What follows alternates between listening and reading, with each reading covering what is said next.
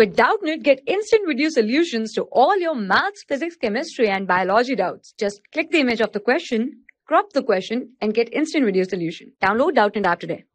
Question is, the pressure P and volume V of a gas are related as P into V power 3 by 2 equal to K, where K is a constant. Percentage increase in the pressure for a diminution of 0.5% of the volume is. So here it says that volume is decreasing by 0.5%.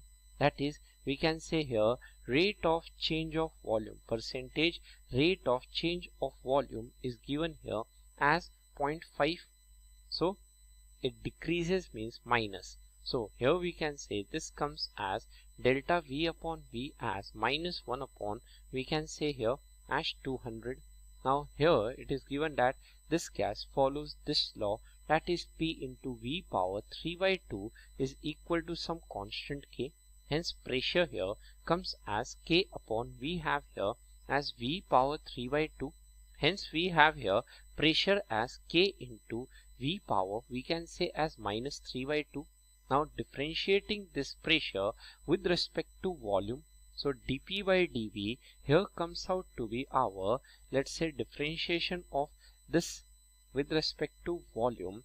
Here will be k into v power. We can say as minus of 3 by 2 so here we can see this simplifies as dp upon dv is equal to k is constant it comes outside. And differentiation of v power minus 3 by 2 with respect to v here comes out as minus 3 by 2 into v power minus 3 by 2 minus 1 which is v power minus of 5 by 2. Now percentage increase in pressure. As we can see if volume decreases pressure shall increase. So here we can see we substitute this value.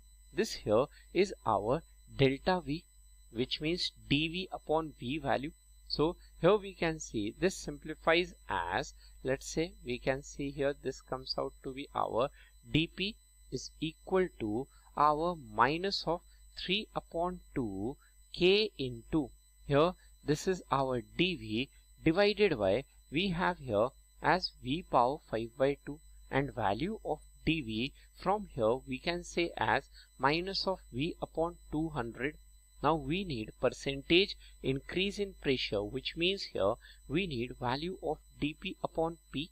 So we can see here this comes out here as minus 3 by 2 k into value of dv here is minus v upon we can say as 200 divided by this here is our v power 5 by 2 divided by here is our pressure p.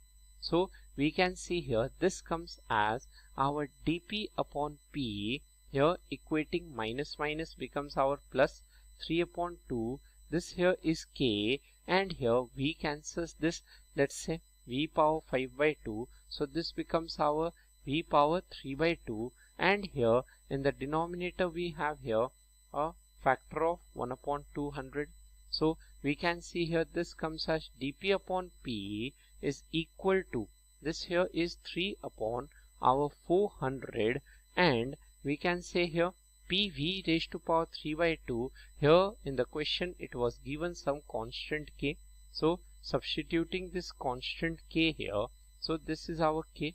Now K and K cancels out. Hence this value comes as 3 upon 400 now in the percentage sense we can see here percentage increase in the pressure which means here dp by p into 100% here. So this can be written as 3 upon we have here as 400 into 100% hence we have here as 3 by 4 percent. So 3 by 4 percent which means here our 0 point we can say as 75 percent. So we can say 0.75 percent which means here our option number 2 0.75 percent is the corresponding increase in pressure. So 2 is our answer. For class 6 to 12, IIT JEE and NEET level. Trusted by more than 5 crore students. Download Doubtnut app today.